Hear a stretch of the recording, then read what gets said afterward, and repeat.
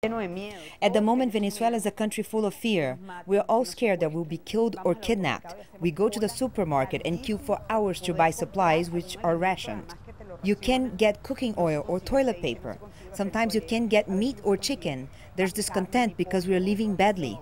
There are no answers. There are no sensible economics. The economy is falling apart. It's a disaster. Nothing works. There's no law, no defense, no justice. There's no respect for human rights, no guarantees. No se respetan los derechos humanos, no hay garantías. How far is your husband, how far is Leopoldo Lopez willing to go in this fight? Leopoldo was very clear. If him going to jail means that Venezuelans will wake up, then it's worth him going to jail. If it takes days, months, whatever it takes to make sure that justice is done here.